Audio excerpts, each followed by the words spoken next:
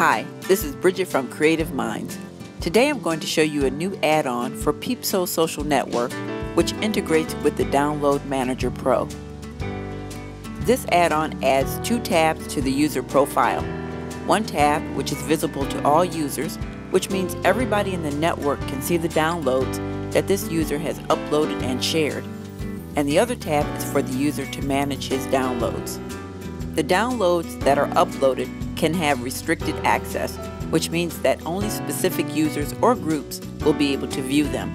This is based on the user settings. We'll see this in a minute.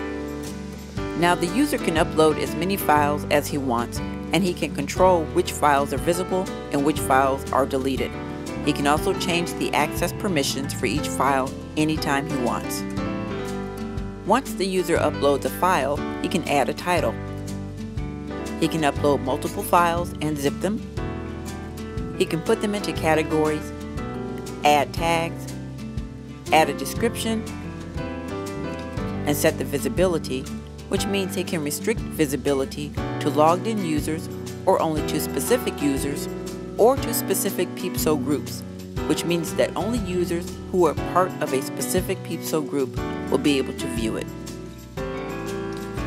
Once the download payments add-on has been added, the user can set a price. This means that downloading is only available to those who pay for this add-on.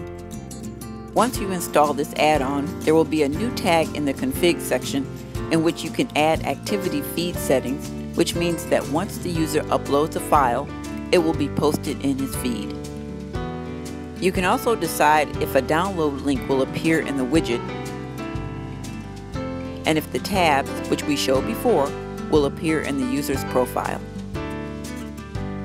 This is a great addition to PeepSo, which can let you share files within the PeepSo network, as well as restrict access to any specific file. Thank you for watching.